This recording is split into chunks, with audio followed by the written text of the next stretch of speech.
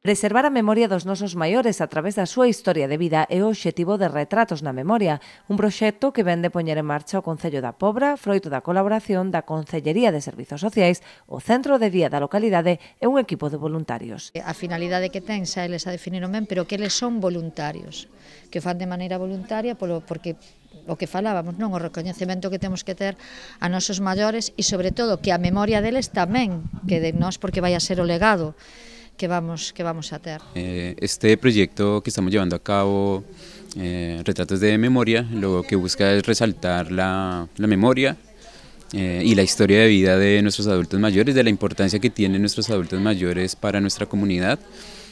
vamos a hacer algunas piezas audiovisuales, tanto de pintura, fotografía y video, donde vamos a contar eh, dos perspectivas, una que es la memoria eh, de subjetiva o subjetiva de cada uno de nuestros abuelos y también de um, su memoria personal.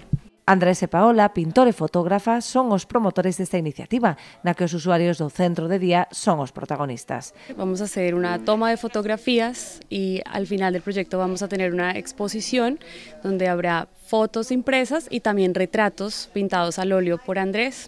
Queremos desde el momento uno eh, reconocerlos desde el momento de la toma de fotografías, que sea que un momento para ellos, ¿no? para decirles cómo posar, para que se sientan observados por la cámara, con las luces. ha sido, ya hemos hecho algunas tomas de fotografía y ha sido un momento lindo, un momento especial para ellos porque em, se abren, se ríen, hacen chistes, así que desde el momento cero lo que queremos es que estar ahí para ellos, reconocerlos, que, se, que sean el centro de atención.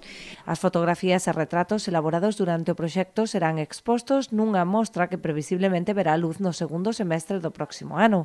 Irá acompañada dunha serie de pezas audiovisuais nas que conten parte da súa historia persoal. También agradecer por la generosidad a las personas eh, participantes en el, en el, proyecto que eh, se abren en canal, exponen, eh, traen objetos personales para que puedan explicar vivencias, fotografías antiguas de su trayectoria de vital.